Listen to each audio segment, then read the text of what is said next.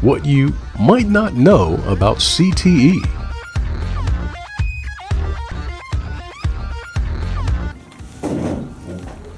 It's a one-year program that focuses on learning basic healthcare specific nursing assistant skills.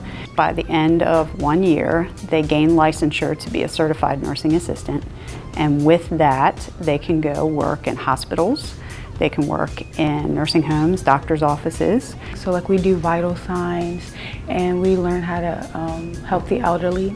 This program is really good for especially if you want to like work in a hospital, nursing home, anything. And it is really a great opportunity, especially it, it gives you an advantage over others, especially when you're going to um, college or working in another field after high school. You know, usually people start after they get out of school, but we actually start while we're in high school. Definitely, I would recommend it for like kids that actually want to be in a nursing career. It gives you gets you further along. Maybe even things like being a physician's assistant, nurse practitioner, veterinarian. There's a lot of different options for which they can choose.